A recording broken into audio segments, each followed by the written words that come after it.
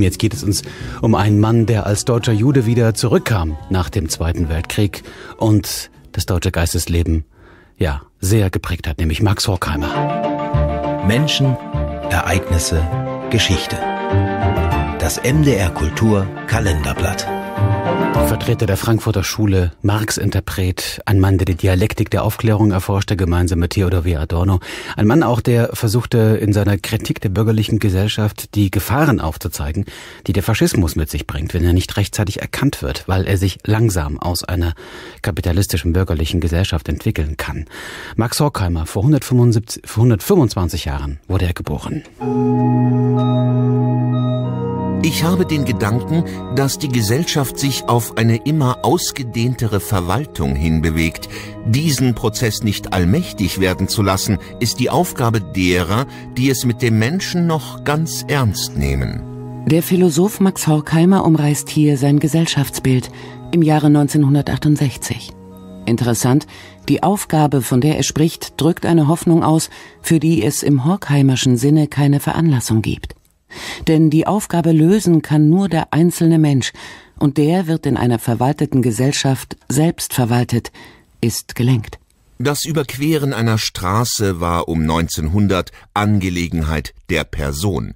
Man ging nach eigenem Entschluss auf die andere Straßenseite. Heute blicken 30 Augenpaare auf die Ampel und gehorchen dem Befehl. Horkheimer kommt in Stuttgart zur Welt. Als einziger Sohn des Fabrikanten Moritz Horkheimer war ich seit meinen ersten Lebensjahren dazu bestimmt, in der Leitung der industriellen Werke meines Vaters dessen Nachfolger zu werden. Pläne, denen der Sohn einen Riegel vorschiebt. Er studiert Philosophie, Psychologie, Nationalökonomie, steigt 1930 zum Chef des Frankfurter Institutes für Sozialforschung auf. Womit sich auch die Ausrichtung des Instituts grundlegend änderte. Er wollte im Grunde genommen den Marxismus auf eine ganz neue wissenschaftliche Stufe bringen, indem er unterschiedliche Disziplinen zusammenführen wollte. Sagt Axel Honneth, ab 2001 selbst lange Zeit Direktor des Institutes in Frankfurt am Main.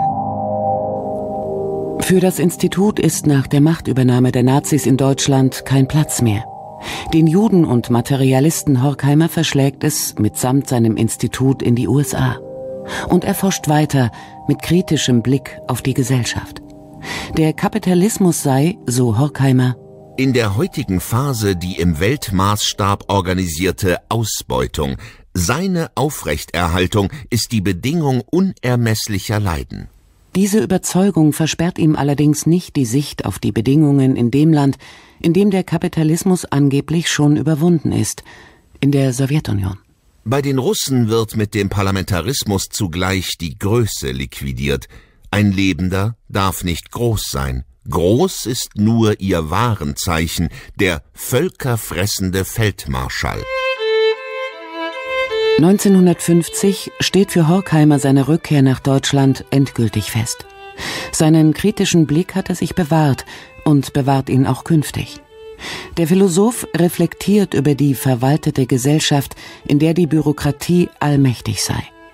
Er sieht Zerfall und Zerstörung, die Gewalt der Maschinerie den Menschen überformen, die Massenkultur die Schöpferkraft des Einzelnen kassieren und das Ende des Individuums nahen.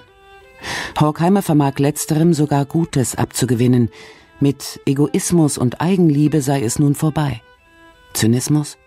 wohl eher die Fähigkeit des dialektisch denkenden Philosophen, selbst dem Negativen Positives abzugewinnen.